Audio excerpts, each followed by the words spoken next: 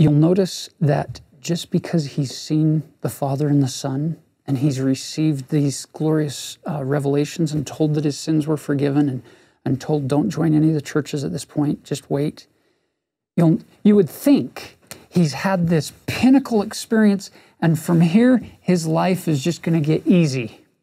His life is going to be simple, kind of like a person who has overwhelming spiritual experiences that convince them that Jesus is the Christ, that the Lord wants them to repent of their sins and to get baptized into the church of Jesus Christ and to move forward on the covenant path, that from that point on, everything's going to be easy and simple. Yeah, you're going to notice that as we proceed through the rest of this curriculum year, studying the Doctrine and Covenants and church history, that very few things seem to come easily to this prophet just because God gives you revelation and answers and direction and a calling doesn't mean that all of a sudden you're going to live a life of ease, that it's going to be pain free, that everybody's going to love you and accept you and, and applaud you for all the good things you're doing. Sometimes it will actually increase the opposition when you move forward. But, brothers and sisters, we're here as a trial of our faith to be proven and to be tested and to learn and grow from our own experience to distinguish these, these good and evil uh, choices that we have in front of us as you move forward. Notice in verse 18, he says, My object in going to inquire of the Lord was to know which of the sects was right, that I might know which to join. Again, there's that agency. I'm willing to act. I'll do whatever you want me to do, God. And uh, notice that they, they answered in verse 19 that he should join none of them. And then the Lord gives Joseph some some clarification halfway down through verse 19. They draw near to me with their lips, their hearts are far from me. They teach for doctrines the commandments of men, having a form of godliness, but they deny the power thereof. Brothers and sisters, this brings us to a really important point as we, as we contemplate the first vision event.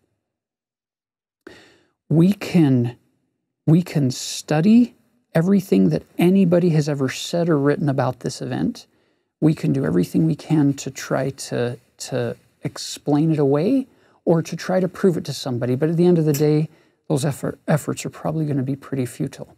Futile. Uh, notice we can't deny the power of godliness. We can't deny the influence of the Holy Ghost as we work through the process of time seeking truth.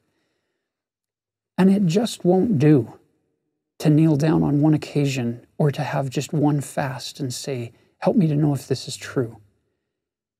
Things in the scriptures usually take time where God gives you experiences where it then opens channels of communication where then the revelation can have context. It can mean something to you. It can cause you to then use your agency to become something more like Jesus that we're all seeking, rather than just having it be a curiosity question. Um, I want to know is Joseph a prophet? Versus, Dear God on high, I am willing to do whatever you want me to do in my life. And it would make a big difference if I knew if what Joseph said is true.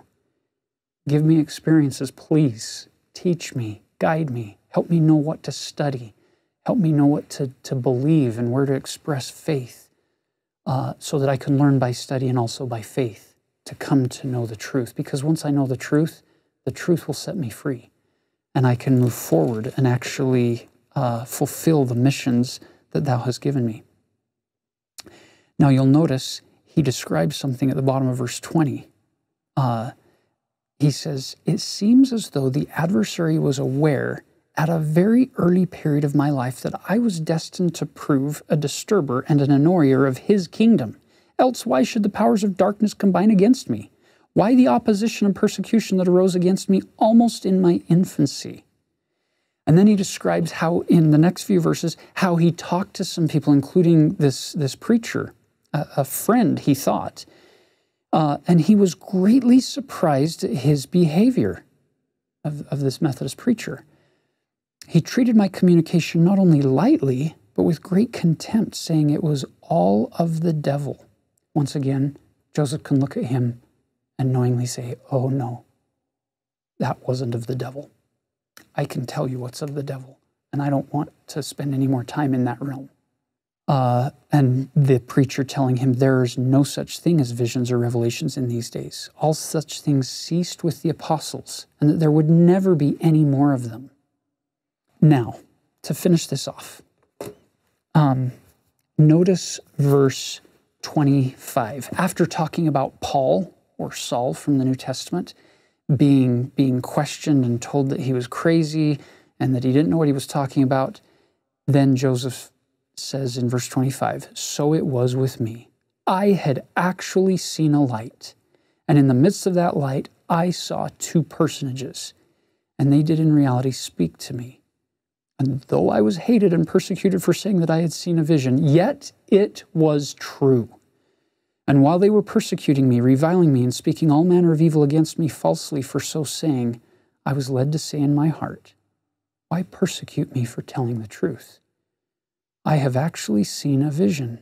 And who am I that I can withstand God? Or why does the world think to make me deny what I have actually seen?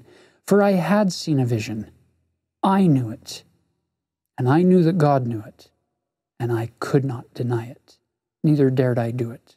At least I knew that by so doing I would offend God and come under condemnation. President J. Reuben Clark gave a famous talk entitled The Charted Course for the church in education. In that talk, he said, There are two truths that are more important than anything we can teach in, in gospel settings. Number one, he even called them the latitude and longitude.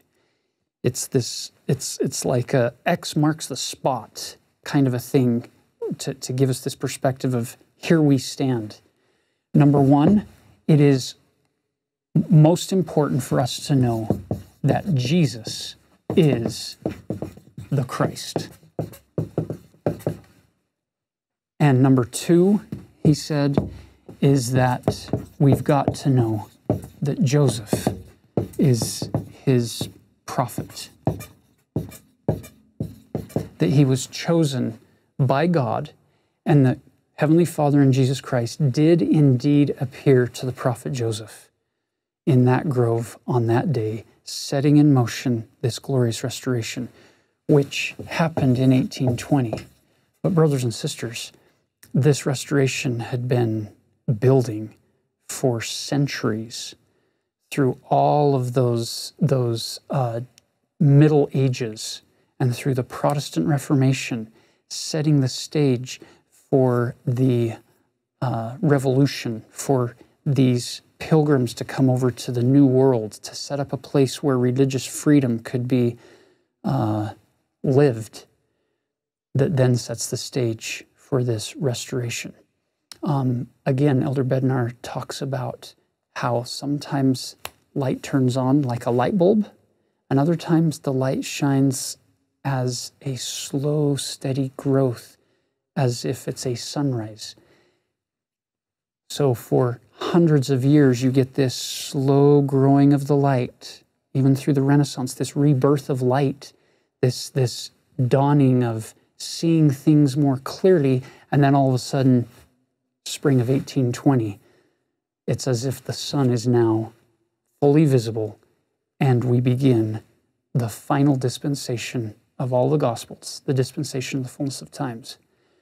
Brothers and sisters, of all the things uh, we could say, rather than trying to convince you one way or the other, let me just finish with what I know for myself. I know by the power of the Holy Ghost that Jesus is the Christ, the Son of the living God.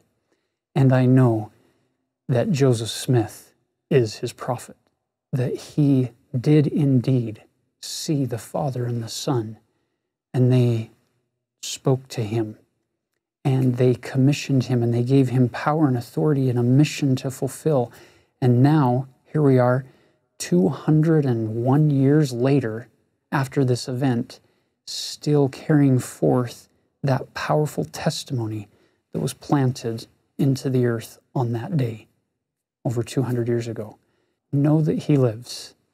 Know that He still guides the church today through living prophets, seers, and revelators.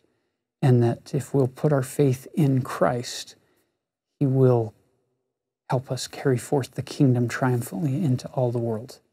And I leave that with you in the name of Jesus Christ. Amen.